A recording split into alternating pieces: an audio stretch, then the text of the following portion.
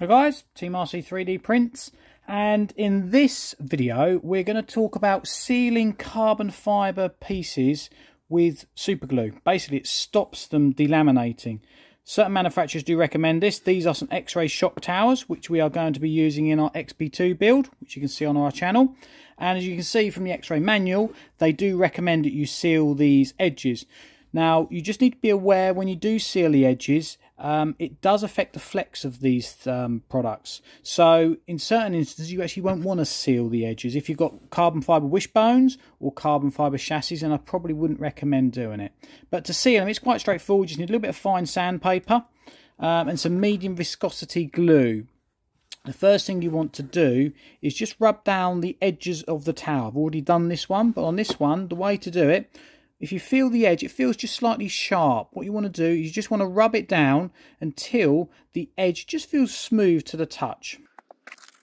Do You need to be careful. Carbon fibre dust is horrible stuff, so you want to make sure you're not going to be breathing any of these particles in. It really is horrible stuff. But you just want to rub it down until you get a nice smooth edge on there so it doesn't feel sharp to the edge of your finger. So once you have sanded down the edges, You'll feel it's nice and smooth to the touch. Give it a wipe with a cloth so there's no dust residue on there. And then get your, say, medium viscosity glue. This is the one I'm going to use. Actually, a different one to what I had in the photo originally. Just This is what I've got to hand. You then want to start at any point on here and then just get a nice bead of glue on there. And then just basically follow it round your carbon fibre item. Make sure there's a nice bead on there. Make sure it covers the whole edge. And you just want to follow it. See that bead running down there? You just want to follow it round. Don't be frightened to put too much on. As long as you're sensible, it won't fall off the side of the edge of your carbon fibre piece. When you get to the edge like there, you need to chase it round there. Just keep working it round till you get to the end.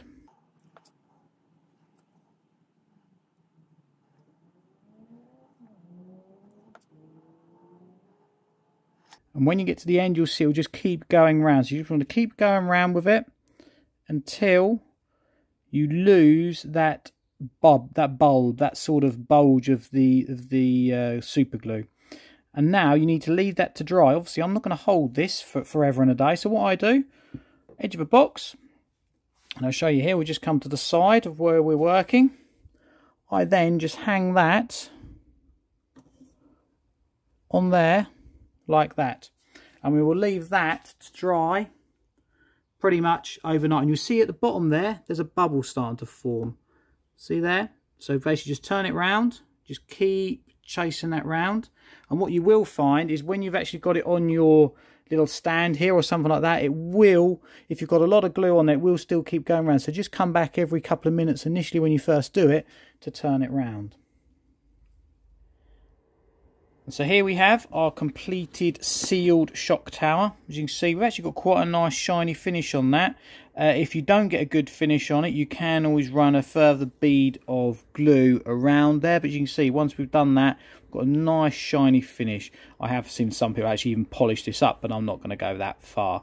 If you do have any white residue on these parts, which you may have, then you can just clean that off. It might just wipe off with a cloth or even some small amount of acetone. And one thing just to be aware of, don't use any activator. I know some people use, obviously use activator with super glue, but don't use any activator on this because it won't give you a very good finish. And one last tip, after you've used your super glue, wipe the um, nozzle with a cloth, then it will stop it sticking back together. So that is how to seal carbon fibre plates, getting a nice finish on there, and it's something that I would recommend. It certainly stops these delaminating, or certainly uh, helps to prevent them delaminating in any large crashes or impacts. Uh, hope that's been helpful, and we'll be back with another video soon.